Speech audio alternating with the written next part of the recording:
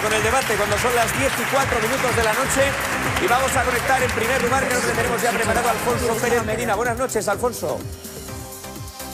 Buenas noches, Joaquín. Hola, Alfonso. Bueno, la primera cuestión que te voy a preguntar es para que mucha gente se haga una composición del lugar y entienda un poco más o menos lo que está pasando. Es una pregunta muy sencilla. ¿Por qué con delitos similares, hablando de sedición, hablando de rebelión, la señora Forcadell ha tenido una prisión eludible con una fianza de 150.000 euros, mientras que el señor Junqueras y los otros eh, siete consellers han tenido una orden de prisión incondicional? ¿Cuál ha sido la diferencia? Pues esa diferencia no hay que buscarla tanto en el tribunal, por un lado la Audiencia Nacional y por otro el Tribunal Supremo, como en la actitud que han desarrollado los querellados. Hay que decir que en el caso de Carme Furcadell y el resto de los antiguos miembros de la mesa del Parlamento de Cataluña han renunciado durante su declaración a esa unilateralidad, se han comprometido a seguir eh, realizando actividades políticas siempre dentro de la Constitución y eso hace que disminuya el riesgo de reiteración delictiva. En el caso de los miembros del Gobierno de la Generalitat de Cataluña no realizaron ese pronunciamiento, está por ver si lo pueden realizar en los próximos días, en las próximas semanas, porque ya algunos de ellos incluso han cambiado de abogados y se están planteando la posibilidad de volver a declarar en la Audiencia Nacional, pero básicamente esa existencia de reiteración delictiva es la que fundamenta que el Tribunal Supremo y la Audiencia Nacional eh, hayan adoptado decisiones diferentes. Alfonso, por seguir aclarando más cuestiones, te voy a plantear otra duda. La Fiscalía no ha recurrido esa prisión eludible, confianza de 150.000 euros de Carmen Forcadell. ¿Puede ser, puede ser, me pregunto yo, porque al Estado, al gobierno de Mariano Rajoy no le acababa de convencer la decisión tomada de la Audiencia Nacional de mandar a los exconsellers a prisión? ¿Y eso puede haber pesado la Fiscalía? Bueno, en principio la Fiscalía lo que ha dado son argumentos jurídicos y el de más peso precisamente es esa declaración que hizo Carme Forcadell y el resto de los miembros de la antigua mesa del Parlamento de Cataluña, que hay que decir que es una declaración renunciando a la unilateralidad que se produjo después de las vistillas, es decir, después de que la Fiscalía planteara sus peticiones. Fue en una última pregunta que planteó el magistrado del Tribunal Supremo eh, Pablo Llarena y ahí fue cuando se comprometieron a no delinquir más, a no cometer eh, más delitos. También lo ha justificado con otro tipo de medidas, ha dicho, por ejemplo, la Fiscalía que las medidas cautelares que se han impuesto eh, son suficientes para evitar el riesgo de fuga y también ha dado otro argumento, ha dicho que todas las tesis que se plantearon en su querella, lo que incluye, por cierto, eh, que los hechos puedan ser tipificados como un delito de rebelión, incluye ese matiz de violencia que tiene el delito de rebelión, dice que básicamente se han recogido en el auto del juez eh, Pablo Llarena. Eh, Alfonso, una cuestión también relativa al expresidente, al eh, señor Puigdemont, que ha anunciado la creación de una serie de estructuras en Bruselas para coordinar su trabajo. ¿Esto puede tener algún efecto sobre su futuro judicial?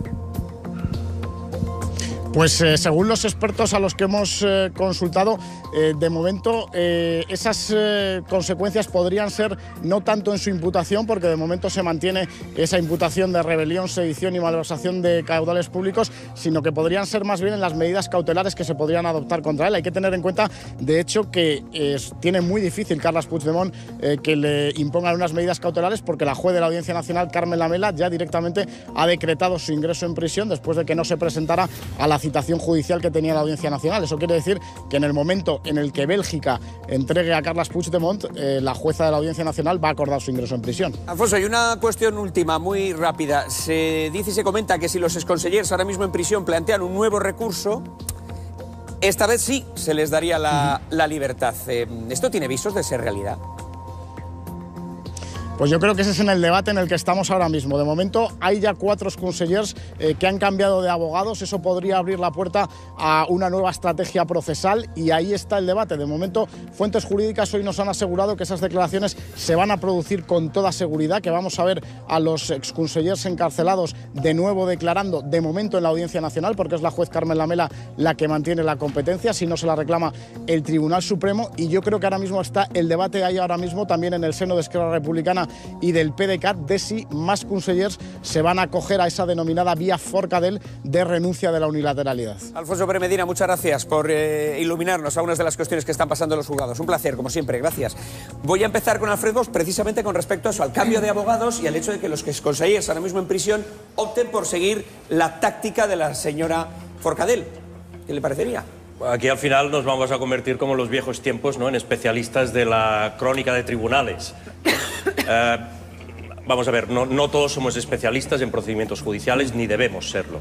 Yo creo que debemos ir a la esencia de lo que está pasando y en esencia lo que vemos pues son unos tribunales que han encarcelado a gente por sus ideas políticas y por su acción política y eso pues lo consideramos tremendamente injusto. Estamos viendo también pues a Karma Forcadell que legítimamente pues elige su estrategia judicial junto con su abogado, ¿no? Y que por supuesto pues puede elegirla para intentar que el peso de este castigo le sea lo más leve posible. Pero el señor Forcadell dijo en sede parlamentaria que no daría un paso atrás y ahora habla de una declaración simbólica de la independencia, ¿puede eso generar frustración? Bueno, no, sabemos lo que ha dicho Karma Forcadell. Al menos yo no lo sé porque no estaba ahí dentro. Y allá hay muchos bulos también. lo que sí que sabemos es que dijo que una declaración es declarativa. Eso es lo mismo que nos ha dicho Xavi Domènech ahora mismo. Una declaración, lógicamente, es declarativa. Es como una declaración de amor. Una declaración de amor es una declaración, no es una consumación. No quiere decir que haya un matrimonio, que haya una casa ya construida. No, una declaración es eso. ¿eh? Por lo tanto, yo creo que se están diciendo obviedades, aunque intentemos buscarle tres pies al gato a veces. Antes de ir con Esperanza García, el Partido Popular, hemos recopilado algunas de las declaraciones hechas por Karma Forcadell después de escuchar algunas de las filtraciones que ha habido, nos las contaba Alfonso Pérez Medina en esa declaración en el Tribunal Supremo. Eh, Paula nos trae los datos. Sí, en concreto vamos a recordar lo que decía hace solo unas semanas en comparación con ese acatamiento de la ley y el reconocimiento de que era una declaración eh, meramente declarativa o simbólica. El eh, mismo día 21 de octubre, hace casi tres semanas, Karma Forcadell hablaba de mm, eh, que el artículo 55 era un golpe de Estado. Lo van a escuchar. El president Rajoy ha traspassat tots els límits. Ha anunciat l'execució d'un cop d'estat y ese mismo día la expresidenta del Parlamento se mostraba así de inflexible con sus planes. No farem cap pas enrere. La ciutadania d'aquest país ens va escollir com a legítims representants i com a servidors públics ens devem a ella. No darían un paso atrás, dijo, y por eso, unos días después, hizo esto. Constituïm la República Catalana proclamar la nueva República Catalana en el Parlamento, el culmen del proceso al que ahora resta valor jurídico y califica como meramente declarativa. El contraste Puigdemont insistiendo esta semana en la legitimidad de su gobierno. Continuer a revendiquer notre légitimité parce qu'on est, moi j'étais élu par un parlement légitime. Bueno, pues ante el juez Forcadell dice una cosa y parece que en la televisión, ante los medios internacionales, Puigdemont dice otra, Iñaki. Pues gracias, Paula. Adelante. Esperanza, del Partido Popular. Yo creo que lo primero que hay que hacer es, eh, y sobre todo personas que, que, nos dedicamos a la política y que estamos en cámaras legislativas, es respetar la división de poderes. Las sentencias se acatan y se respetan. Otra cosa es que se pueda discrepar. Y lo mismo pasa, pasa con los autos. Dicho esto, y abundando en la idea que, que por mucho que repita el independentismo político, que en España en España no existen presos políticos, sino personas que cometen supuestos delitos y están en prisión preventiva, que es el caso de los consellers y parte, parte del gobierno. Yo creo que no es nuevo. Lo que ha pasado con la señora Forcadell no es nuevo. Ya lo hizo el señor Mas con el, con el referéndum del 9N. Es decir, a medida que la responsabilidad y la asunción de responsabilidades es irremediable frente a un juez, la gallardía que se tiene en cámaras legislativas o en instituciones se pierde cuando hay que declarar delante de un juez. Y eso es lo que ha pasado. Lourdes, del PDCAT. Muchas gracias. Aquí la evidencia es que estamos ante una causa general contra el independentismo.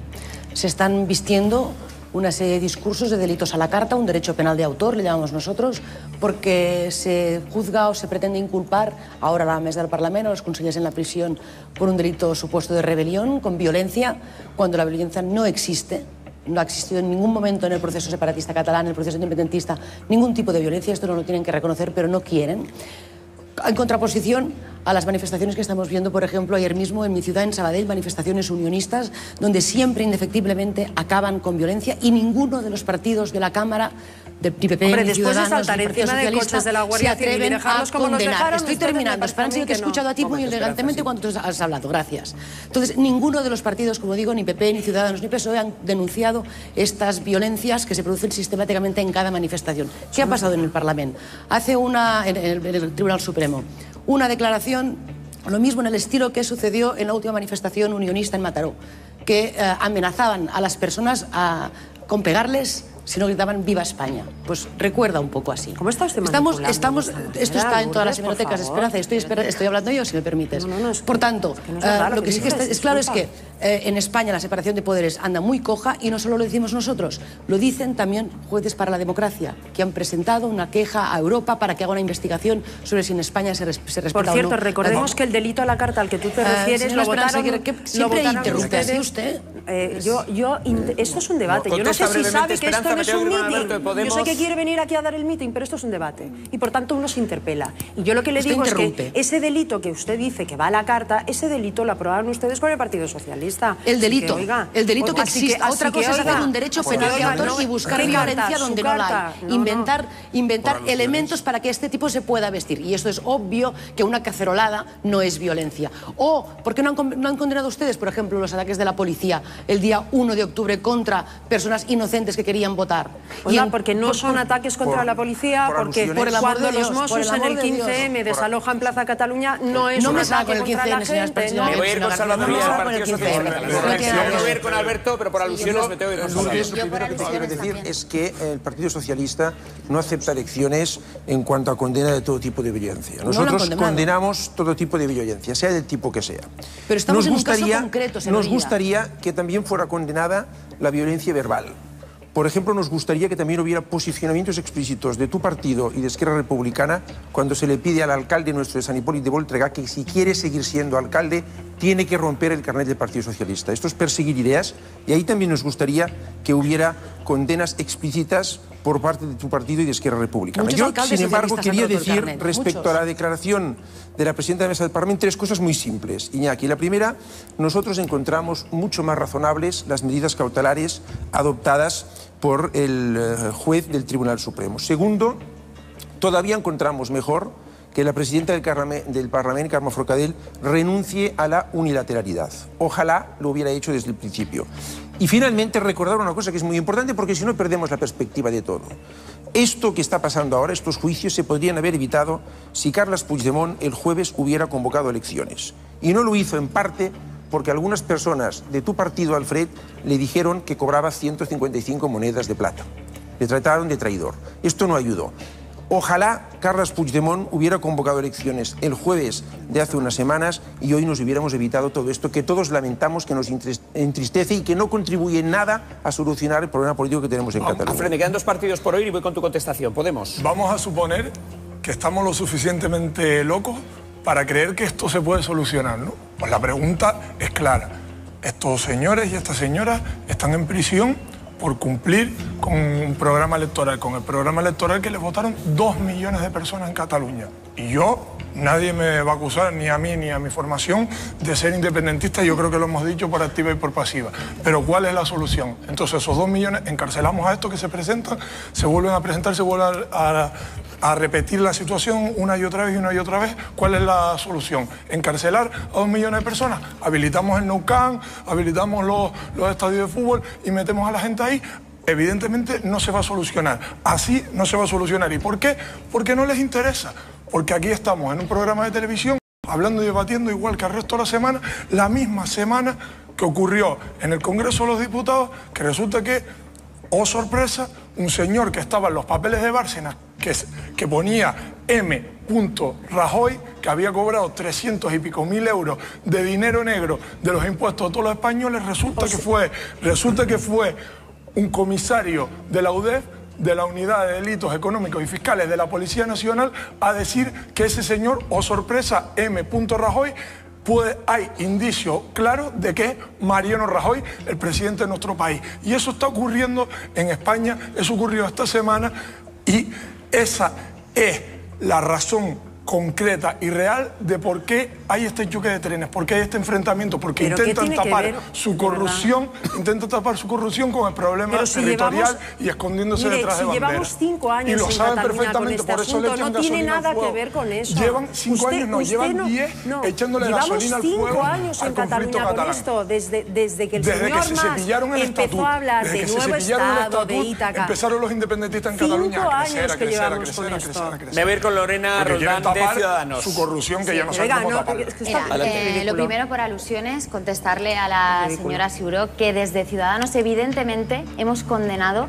eh, estas agresiones, estos eh, eh, episodios que evidentemente nosotros nos desvinculamos del todo. No, para nada, para nada, para nada. Y de verdad sí que no te consiento que digas según qué cosas, porque siento, hemos condenado, siento, hemos condenado ¿Quién eres estos ataques. También se han condenado desde Sociedad Civil Catalana y por tanto no digáis cosas que no son. A mí me gustaría saber si, por ejemplo, tú condenas la declaración de personas no gratas que nos han hecho en, Llava- en Llavaneras vuestros regidores del PDK. veces, ¿Ah, varias veces, Pues nos han que no nos declarado personas no, gratas lo hemos dicho simplemente, varias veces, simplemente varias porque no pensamos como vosotros. No, Esa es la Cataluña que vosotros queréis. Esa es la que Cataluña que vosotros inocular. estáis El consiguiendo. Que nos de la violencia. Si tú Esto es quieres que te dejen hablar, yo hacer. te pediría a ti lo mismo, por favor. Eh, eh, yo me remito a los hechos. Nos han declarado personas no gratas no solamente a nosotros, sino a todos los votantes de Ciudadanos en ese municipio que fuimos segunda fuerza en, en autonómicas. Acabo. lo mismo. Eh, mira, a mí tampoco me gusta tener que ser especialistas de crónica judicial y de hecho yo soy partidaria de que los jueces tienen que trabajar en libertad y que nosotros los políticos nos tenemos que dedicar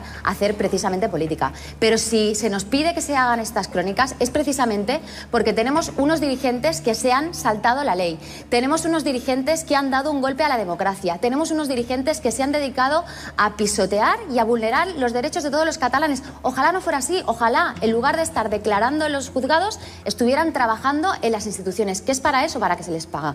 Yo no estoy de acuerdo, Alberto, con lo que decís y vosotros decís, a mí nadie me puede acusar de ser independentista. Hombre, acusar no, somos, es que no os retratáis vosotros solos cuando vais de la mano con la señora Colau, la señora Colau que ya dijo que había votado que sí en 9N, democracia, la señora democracia. Colau que ha reconocido legítimo este gobierno cesado y fugado, y fugado, que esto es una vergüenza Pero lo que si está pasando. encanta esto. Y por favor, nosotros lo que os pedimos es que os decantéis de una vez por todas y decidáis si vais a apoyar a los que quieren liquidar España y a los que están pisoteando los derechos de los catalanes o vais a apoyar Ya a los lo que queremos una nueva etapa el 21 de diciembre. Ni a uno Lorena, ni a otro, si cenaron con el- evidentísimo. cenaron con el señor A ver con Alfred, que todavía tenía que contestar alguna alusión. Sí, RC. Sí, la- Lorena eh, dice que quiere crónicas judiciales, pues mira, una de No, no, yo no las quiero. Una de Yo digo que importante- no las tendríamos No me que apliquéis hacer. el 155, Yo si digo no te sale que mal. no las no me que interrumpáis, hacer. no Es me que- apliquéis no, el pero no digas una cosa que no he 155, dicho, siempre interrumpiendo y Vamos a dejarle censurando. acabar a Alfred, luego habrá No me apliquéis el artículo. Eh, crónica judicial. Un juez belga eh, decreta la libertad para Puigdemont y todos los consejeros que están en respetamos, Bruselas. Y lo respetamos, igual que Jueces, respetamos la jueces españoles, española. prisión inmediata. Eso es una crónica judicial. La justicia belga, la injusticia española. Ahí lo tienes. Señoría, A vosotros solamente os gusta la señoría, que os las beneficia. 150 monedas que esto citaba y que supongo que viene de un tuit de Gabriel Rufián, supongo, supongo, ¿eh? Porque Supone bien.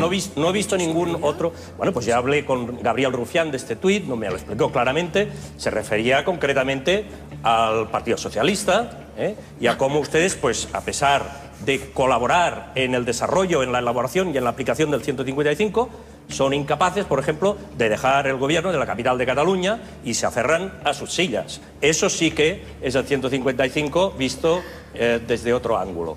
Y a ver, eh, en general, a los representantes del nacionalismo español, ¿no? Que habéis intervenido. Claro, Otra vez. eh, tratáis aquí, tratáis día, aquí no a nuestros líderes, los líderes de la República Catalana, como eh, cobardes, como gente que no sabe afrontar la realidad. Pues a mí me sabe muy mal, pero yo creo que en concreto el presidente de Esquerra Republicana, Oriol Junqueras, a mí me sabe muy mal porque es injusto y es inexacto y no es verdad que se le trate, se le trate de cobarde o de receloso o de una persona que no ha afrontado su destino. Él se quedó en Cataluña con la gente, dio la cara, fue a declarar y está en prisión. Y está en prisión por cumplir, por cumplir con un programa electoral. Antes el compañero Podemos lo decía.